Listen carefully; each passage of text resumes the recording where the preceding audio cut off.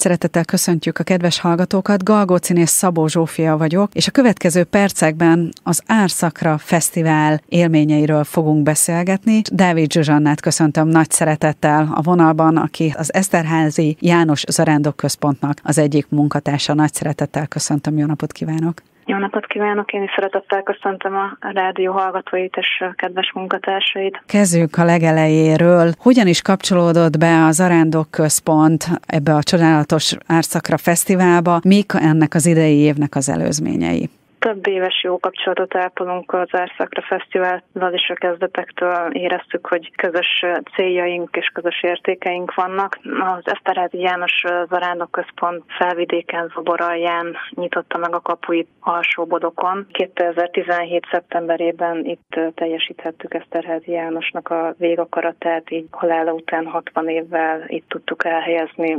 kegyelette teljesen a hambait, és akkor nyitotta meg a kapuit az Arándok Központ is. Azóta minden évben erre a Szent Kereszt felmagasztalására lévő ünnepre, és egyúttal a Eszterházi János tiszteletére tartjuk meg a fő ünnepünket. Szent Kereszt felmagasztalásához legközelebb eső hétvégén, ez idén szeptember 13-a, illetve 14-e volt. A pénteki napon mindig arra törekszünk, hogy a művészettel rá hangolódjunk, imádságos lelkülettel a másnapi szombati eseményekre, ahol a csúcspont az ünnepi szentmise.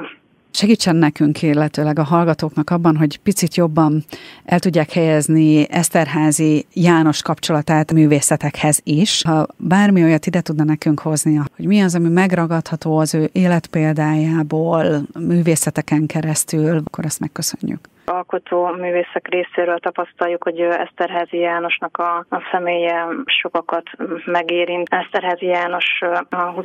század mártírja, ugye felvidék nagy politikusa, aki 12 évig gyakorolta a politikusi hivatását, és 1945-ben letartóztatták, megérte a gulágot, távollétében halálra ítélték, majd visszaszállították, és Csehszlovákia börtöneiben raboskodott hosszú éveket. Ebben az a csodálatos, hogy az ő életszentsége nagyon sötét időszakban fény lett föl, és lett a felvidéki magyarságnak egy, egy fénylő csillaga, de az egész magyar és az egész egyetemes keresztény közösségnek Gábornak is. Akkor megtörtént 2017-ben a temetése, akkor az itt lévő több nemzet, tehát képviselő atyák, püspök atyák, ugye Krakóból érkezett a főcelebráns Marek Jadresevszki érsek atya, és ő fogalmazott úgy, hogy olyan gazdagságát látja az ő életének, lelkületének, hogy méltó arra, hogy elinduljon az ő boldog avatása, és valóban ő kezdeményezte Krakói Egyház megyében indulhatott el hivatalosan 2019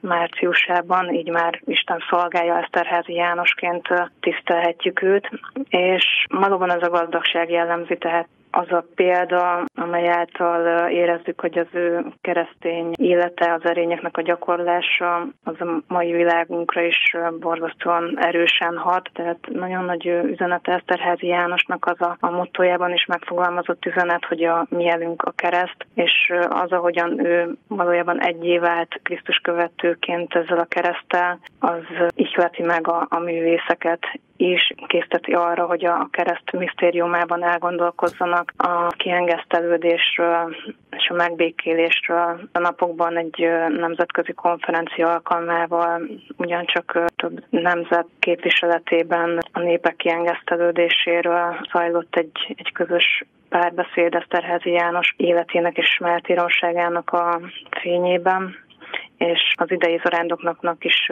volt egy kiemelt szentírási idézet, az én békémet adom nektek. A pénteki napon felvidéki nagymegyáról érkezett hozzánk egy művészcsoport, egy csoportos festészeti kiállítást mutattunk be Meger Árt művészcsoport Mikóci Dénes vezetésével átszöve Isten hitével készített egy gyűjteményes kiállítást, ami szándékuk szerint a jövőben is fog gyarapodni, és itt az alkotók szintén Eszterházi Jánosnak a bértanúságáról, keresztről, a másokért vállalt szeretetteljes áldozathozatalról, hivatásáról elmélkedtek, és hát az előző évekből csak tényleg kiemelni tudok pár alkotót. A Szent Eszrém kórus éppen szintén a napokban mutatta be Budapesten is az Eszterházi oratóriumot, aminek a, az ősbemutatója itt a Zarándok nap keretében zajlott. Szintén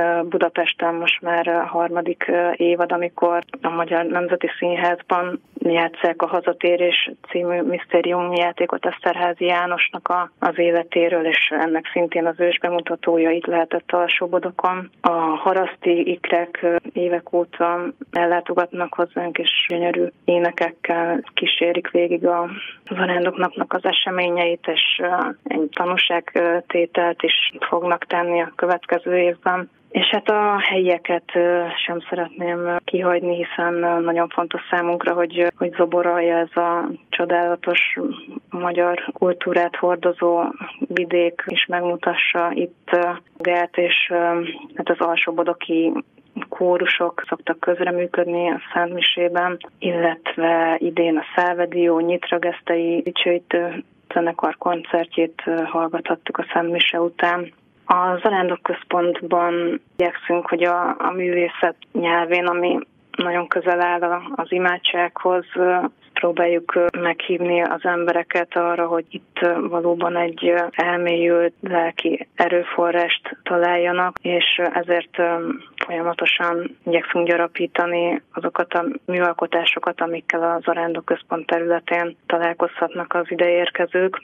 Készül egy mártírok és hitvallók fala, ahol több nemzet szentjei boldogai, és olyanok is, akiknek várjuk a, a boldog avatását, szerepelnek, és egy ilyen arckép csarnok mutatkozik meg, olyan példaképek, akik valójában a mai világunkat is úgy hiszem, hogy, hogy összetartják és ez, ez a mártírok fala például most november 6-án Boldog Jerzsi Popjós Koltjának a mártíromságára emlékezünk 40 évvel ezelőtt, 1981. október 19-én gyilkolták meg, és halt vértanú halált. Ő is szerepel ezen a mártírok falán, és ennek a megemlékezésnek az egyik állomása az éppen itt a mártírok fala előtt lesz. Így a beszélgetés végén még egy nagyon pici személyes kérdést hadd tegyek fel önnek, ha jól tudom, akkor ön ugye festőművész, és ösztöndíjjal van ott az Arándok központban. Személyesen önnek mit hozott ez, hogy Eszterházi Jánossal ilyen szinten tud kapcsolatba lenni az ő életpéldájával, és ezzel a csodálatos helyszínnel?